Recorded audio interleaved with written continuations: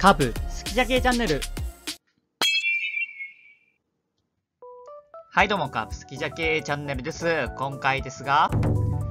開幕ローテに黄色信号、ルーキーが救世主になるということで、ここに来て開幕ローテーション入りが期待される増田投手について詳しく紹介していきたいと思います。増田投手は先発起用になるのか、中継ぎ起用になるのかといったところにも注目したいと思いますので、ぜひ動画最後までご覧ください。このチャンネルではカープに関する動画を多く上げておりますので、カープファンの方やプロ野球ファンの方は、チャンネル登録、高評価よろしくお願いいたします。それでは内容に参ります。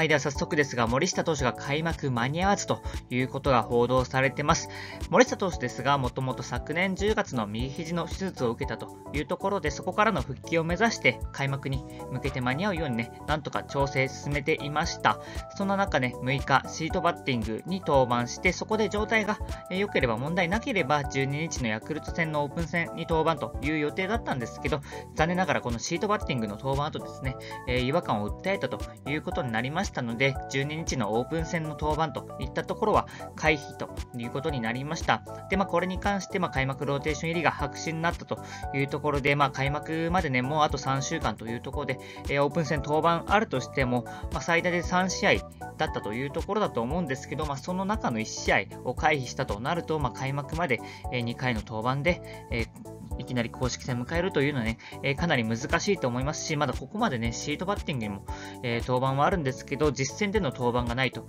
いうところになるので、ちょっとまだまだね、えー、本番のマウンド立つのはね、時間がかかるかなということで、まあ、白紙というかもうほとんど不可能かなという状態に、えなったかなというふうに思います。まあ、ただね、ここの判断に関してはもう新井監督も、えまだね、無理する時期じゃないというところもね、語ってましたので、まあ、そこはね、本当に間違いないかなというところで、ここでね、え無理して、えもっとひどいことになってしまったらかなり痛手になってしまうので、まあ、ここでね、ちょっと一回も開幕間に合うのはね、諦めてゆっくり、え直すという判断はね、ほんと正しいかなと思います。では、そのね、森下投手の、え、昨年、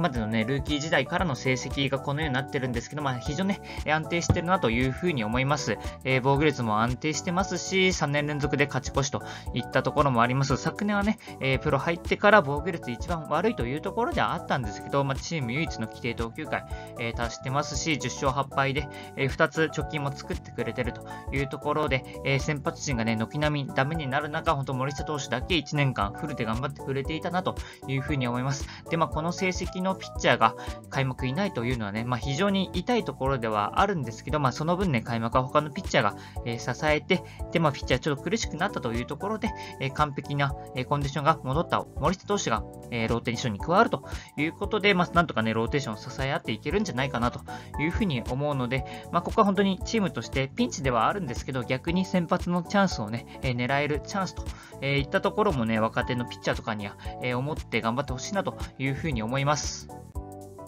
で、現状のローテ争いについて、えー、まとめてみました。えー、まずね、確定といったところで、大瀬良投手、遠藤投手といったところはね、まあ、確定ということかなと思います。大瀬良投手はもう開幕投手確定というところも出てますし、遠藤投手もね、えー、先日、え春季リーグですか、え教育リーグでピッチング、ナイスピッチングというところで、新井監督がもうほぼ確定でしょうと言っていたので、まあ、ここはね、2人はね、ローテーション確定かなというふうに思います。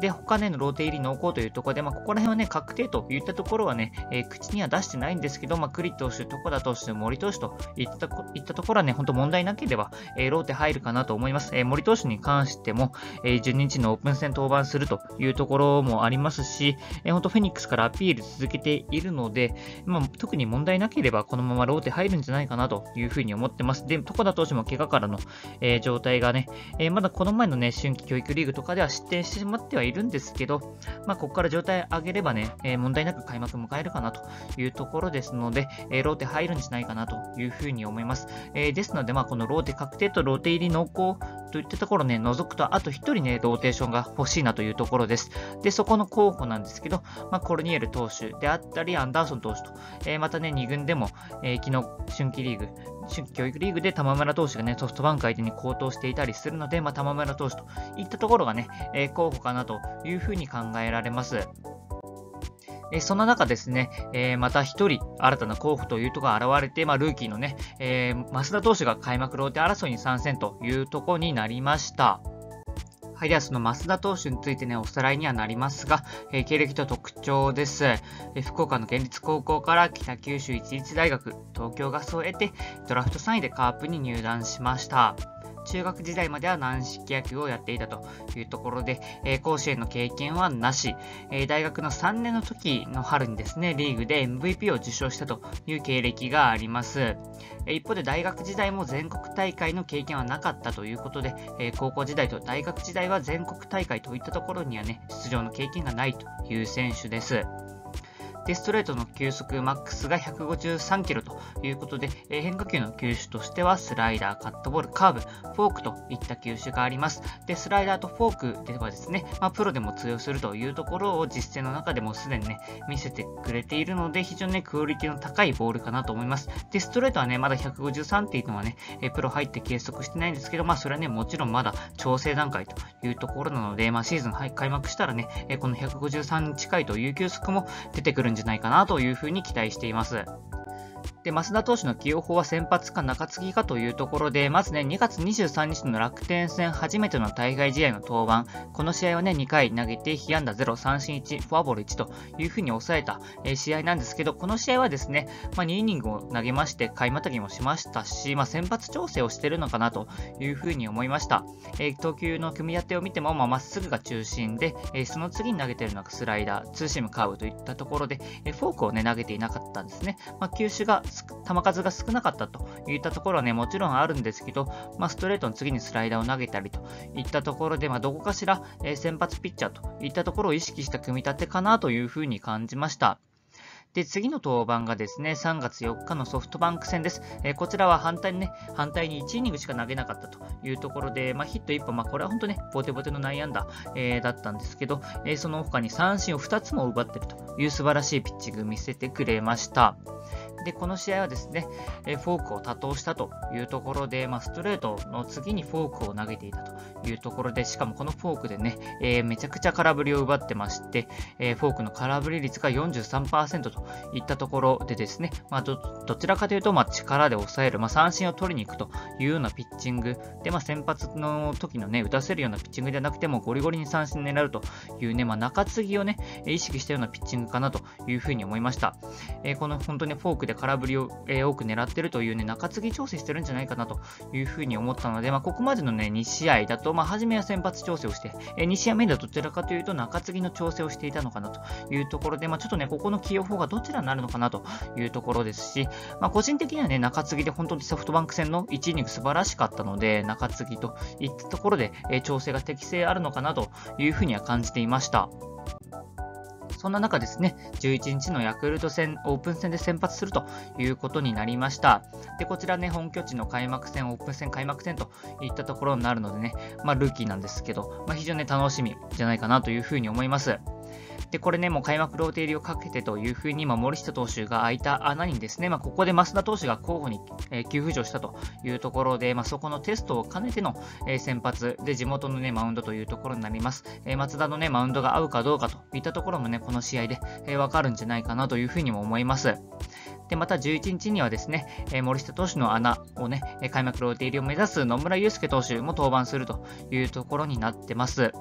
で、12日はボードにも、え伝えたんですけど、まあ、開幕ローテ入りが濃厚な森投手も投げるというところで、まあ、もしね、森投手がここで、えちょっと不甲斐ないピッチングとか、えしてしまえばね、またローテに、え穴が開いてしまうかなというふうに思うので、まあ、森投手にもね、もちろん頑張ってほしいなというふうに思います。で、一方ね、同じくルーキーの川野投手なんですけど、まあ、こちらね、もうどうやら中継ぎ調整が決まったというようね、まあ、矢崎投手が離脱したというところで、まあ、そこの穴を埋めるといった形で川野投手がどうやら中継ぎになるようです。まあ、個人的にはですね、まあ、川野投手、まあ、ストレイストレートのコントロールとかもいいですし、もう全体的に、えー、クオリティのね、選球のクオリティが高いといったところもあったので、まあ、先発向きで、えー、逆に増田投手が、えー、中継ぎ向きかなというふうには思ってたんですけど、まあ、どうやらね、現場は逆で、まあ、川野投手が中継ぎ、で、増田投手をね、先発としてテストするというところになったようです。で、まあ、この増田投手についてなんですけども、本当開幕ローテ入りの大チャンスかなというふうに思います。え楽天戦とソフトバンク戦で非常にね、いいピッチング見せてくれていたので、まあ、ああいったピッチングが、まあ、この11日のヤクルト戦は多分3イニング以上ね、投げるんじゃないかなというふうに思いますので、まあ、このね、長いイニングを投げる中でも継続していいピッチングができれば、本当開幕ローテ入りっていうのがね、ぐっと近づくと思いますし、まあ、もちろんね、そこのチャンスっていうのをね、掴んでほしいなというふうに思うので、まあ、なんとかね、頑張ってほしいなというふうに思ってます。で、最後ね、即戦力ルーキー開幕ローテーション入りへというところで、まあ、森下投手が離脱したというところで、まあ、ちょっとチームとしては痛いんですけど、開幕ローテーションね、まあ、枠が空きました。まあ、とは言ってもね、もともと森下投手はちょっと間に合わないかなというふうに思っていたので、まあ、ローテーションね、えー、森下投手がね、間に合わないといったところで、まあ、あの、首脳陣ね、といったところもね、考えていたかなというふうに思います。で、個人的にもね、まあ予想は出したんですけど、まあ森下投手はね、間に合わないといったところでね、えー、開幕ローテ予想していたので、まあここはね、ある程度織り込み済みかなというふうにも思います。で、ここまでね、大会試合無失点の増田投手に期待ということで、まあ、そんな中、白羽の矢が立ったのは、えー、増田投手といったところなので、まあ、非常にね、えー、期待していいんじゃないかなというふうに思います。ここまでの大会試合のピッチング、えー、見る限りね、えいいピッチング見せてくれているので、本当に期待が大きいと思います。他のね、先発候補の、まあ、アンダーソン投手あたりがね、まあ、ちょっとピリッとしないというところで、2軍でも、え打たれちゃったりしているので、まあ、ちょっと先発ローテ入りが、えー、立ち込めているので、えなんとかね、増田投手といったところにもね、ぜひ期待をね、えー、期待を応える結果を残してほしいなというふうに思います。